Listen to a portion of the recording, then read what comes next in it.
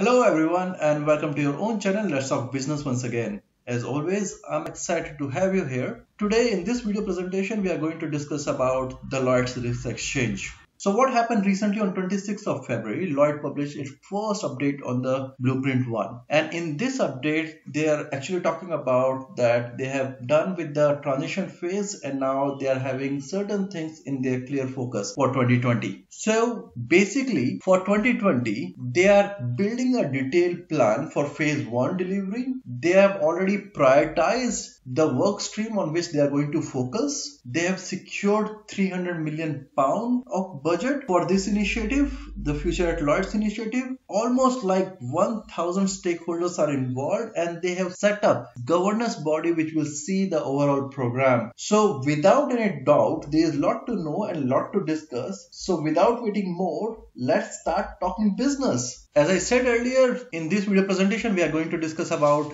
the Lloyd's 2020 top priority with respect to Future at Lloyd's. So they have three components which they prioritize for 2020. The first one is Lloyd Risk Exchange, including the digital cover holder solution. They also prioritize the complex risk platform and the claim solution. And on top of these three components, they have also prioritized three more items which is essential for the Future at Lloyd's infrastructure point of view. The underlying data and technology, the middle and back office operations, which including the accounting and settlement, and they are also revamping the way they, they place the risk, which they call as a modern syndication of risk. But for this video presentation, we are going to focus only on the Lloyd Risk Exchange. And in this, we are going to see what is this LRE and what are the various components of this LRE and all those information. So for those who are new to my channel, I am Ravi Shankar. I am having more than 16 years of experience in business analysis, largely associated with P&C and general insurance domain and currently practicing within the Lloyd's of London. And if you have any query related to this video presentation or my previous video presentation, you can reach me at my Hotmail or LinkedIn profile. You can also connect me on my Twitter account. And if you want the PDF of this presentation, you can connect me on my Telegram channel. So once again, thanks a lot for all your emails, all your queries, all your suggestions. I love them all. Now going forward, what is Lloyd Risk Exchange basically? So the Lloyd Risk Exchange is a digital exchange that connects to the existing system or provide a new user interface that enable the instant search quote bind issue for less complex risk. Now you have to understand less complex risk improving the speed to the placement and the customer experience. Now, improving the speed to the placement and the customer experience is the center of this initiative. We'll talk about this, what is this less complex risk and what is the definition of less complex risk and other aspect of LRE. So why Lloyd Risk Exchange basically. So if you can see here, Lloyd Risk Exchange will allow Lloyd distribution partners, including broker and cover holder, to link their front-end sales system into the central exchange which automatically find the possible coverages solution for their customer. This risk exchange will deliver the straight through processing for a relatively simple, high volume and low premium cases. Right now in Lloyd's, almost half of the risk traded through Lloyd's today are relatively simple, high volume and low premium cases. And traditionally, these have been placed through binder authority or line slip. I will talk about the binder and line slip later on this presentation, but you have to understand half of the risk is simple, straightforward, high volume, low premium cases. So what basically is happening here is there is a huge potential to parameterize this risk and Lloyd will only able to benefit from this opportunity if it can access to the wider customer base and handle their risk more efficiently and economically. So what will happen here is the risk exchange will make the Lloyd more efficient so that the market participant can spend more time on sourcing new distribution and developing new product and provide value added services to their customer and they will reduce the overall turnaround time going forward. So we have to understand what is the simple risk. The risk where the rating engine can provide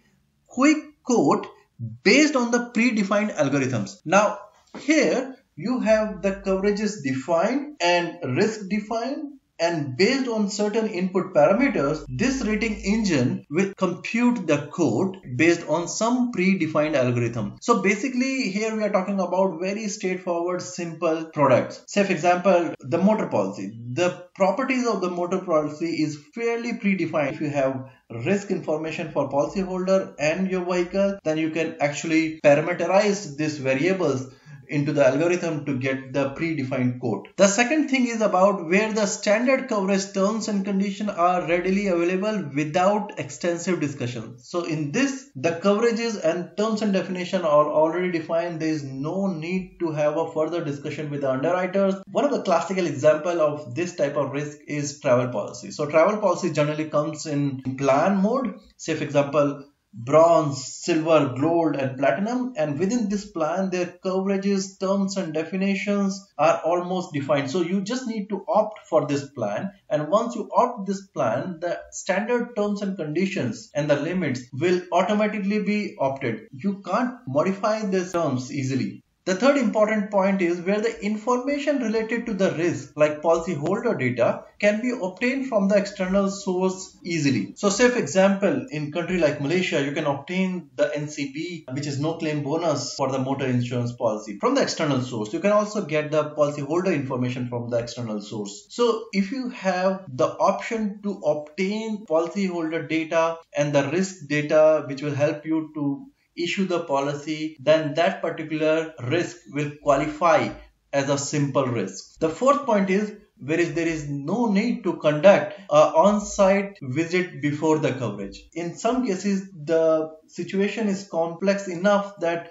before issuing the insurance coverage, you have to visit the premises to understand the risk better. And if you have a relatively simple risk, which doesn't require any sort of uh, visit before the coverage, then those risks will qualify as a simple risk. Going forward, so what this LRE will have, what are the various components of Lloyd's Risk Exchange? The first component is about the flexible access to the risk exchange. Now here, what they're talking about, the flexibility of this risk exchange. So for those brokers and cover holder who is having their own policy administration system and can use APIs, then they can use the API to connect to the Lloyd Risk Exchange. And if they don't have the feature of APIs, then the Lloyd Risk Exchange will provide them an interface by which they can access the various products and coverages within the risk exchange. The other important component of this LRE is configurator and this is basically a place where the cover holder and the syndicate will go and define their product. So once they define their product in, in the configurator, then they can access the product and do the business more easily. So this configurator will be very powerful in terms of defining new product. The third important point is about the instant quote from the rating engine. Now, as I said earlier, Lloyd Risk Exchange will have the rating algorithm in place and if the risk is simple enough, then this rating engine will provide them a quote instantaneously. Fourth important point is connection to the chorus and the DA set. I'll talk about what are the challenges, what is this chorus and DA sets later on this presentation. Third important point is about the reporting. LRE will provide a very important and powerful reporting feature and then they can also able to issue the certificate from the LRE. Going forward, now here they're talking about two things so in earlier version they are talking about only the Lloyd Risk Exchange but after 26th February update they put including digital cover holder solution but before getting into the digital cover holder solution let's talk about the business and the business concept So what is delegated authority is all about? Delegate authority in generic insurance sense is when an insurer permit the other party to act on his behalf to manage an underwriting and claim. So basically you have one insurer and this insurer has actually given his authority to another insurer to manage the underwriting and claim on the principal behalf. So delegate authority is an agreement where a managing agent delegates his authority to a third party in order to enter into the contract of insurance on its behalf. Cover holder under the term of binding authority is the most common way to do a business through delegate authority way. So we will talk about what is cover holder, what is binding authority in subsequent slide. So what is cover holder basically? Now the cover holder means a company or a partnership authorized by the managing agent to enter into the contract or contract of insurance to be underwritten by the member of the syndicate managed by it. Now all cover holder must be approved by the Lloyds Cover holder may be based in any country where the local regulation permits, may enter into the contract of insurance and issue policy document on behalf of uh, managing agent under the binding authority. So some facts here, till 2018 there was 3,936 cover holder producing approximately 30% of the Lloyd's business. So very important business and that's the reason for 2020 they have put their special attention to cover holders. And then you have a different level of underwriting which cover holder can enjoy. Say for example, full authority, predefined rate and no discretion and no prior submission. So I have already created a whole video presentation for this cover holder and delegate authority business which you can view by clicking on the information bar on top of this video presentation so i recommend to go and watch that video presentation Going forward, what is binding authority? So binding authority is basically is an agreement between the managing agent and the cover holder under which the managing agent delegates his authority to enter into the contract of insurance to be underwritten by the member of syndicate managed by it to the cover holder in accordance with the terms and condition which is agreed. So as I said earlier, he is a managing agent and here is the cover holder. The cover holder the managing agent is in uk the cover holder is in usa the managing agent in order to tap the business in usa they will give some sort of authority to the to the cover holder in USA and this authority is predefined all the terms and conditions are defined and this cover holder will write business on the basis of managing agent which is based out of UK so this is the arrangement of binding authority. Now the binding authority agreement will also set out the cover holder other responsibilities such as handling insurance monies or agreeing claims and manage claims in their own way Going forward, what is cover holder solution then?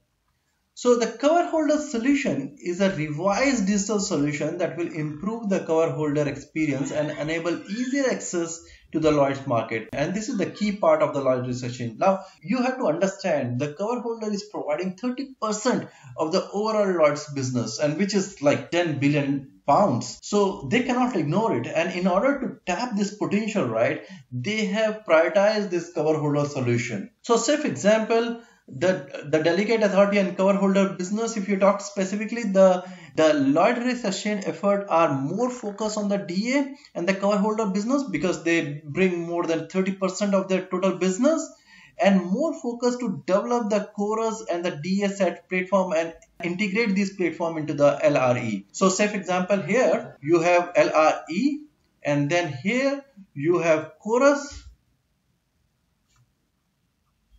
and then you have DA sets and then this DA sets will get connected to the LRE and this is one of their top priorities for 2020 and why they wanted to do this? Because they once they wanted to do because they wanted to streamline this operation. And second they wanted to achieve the truly data first solution. What does it mean? I mean what is truly data first solution? Truly data first solution is the solution where you are solely relying on the quality of the data what you are capturing not on the pdf document not on the word document purely on the data, the fine quality data, which will help you to do more informed decision and have a better understanding about the risk and overall portfolio. Now let's talk about what is this Chorus platform. So what is happening earlier, if you want to hire any cover holder, then the cover holder has to go to many different uh, procedures. Some are online, some are offline. So basically what it has to do, it has to go and log into the Atlas platform.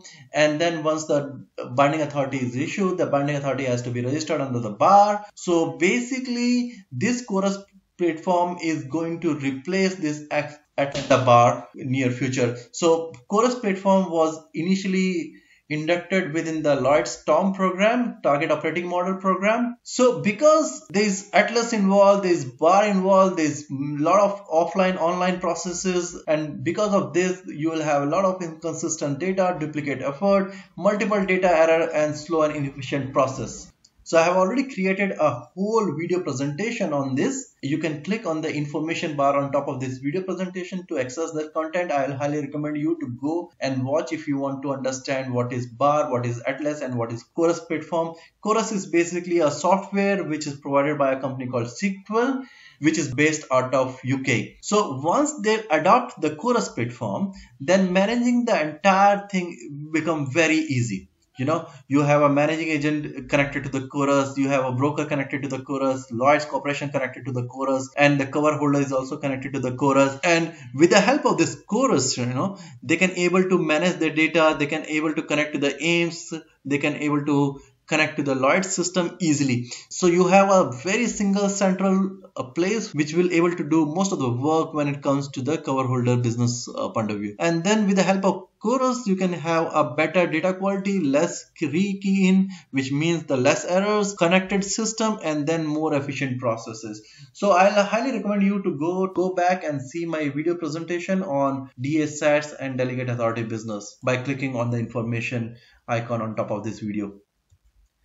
The second important thing is about the DASATS platform. So DASAT stand for Delegate Authority Submission Access and Transformation Services. So what was happening? So you have inducted a cover holder in US and this US cover holder is giving you a business but how he is reporting the the way he is reporting the business is very tedious you know. Sometimes he's sending excel sometimes sending word some sometimes he's sending the information directly to the managing agent sometimes he's sending information directly to the broker.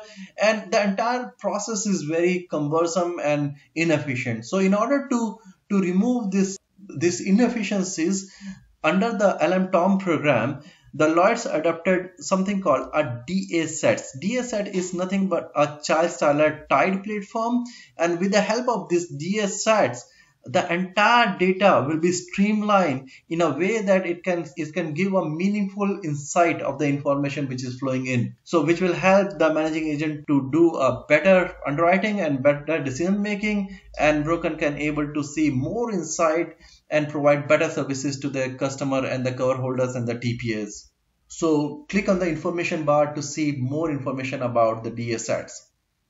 This is the risk exchange all about. In the center of the risk exchange, you will have a front end system if you are not able to access risk exchange through API.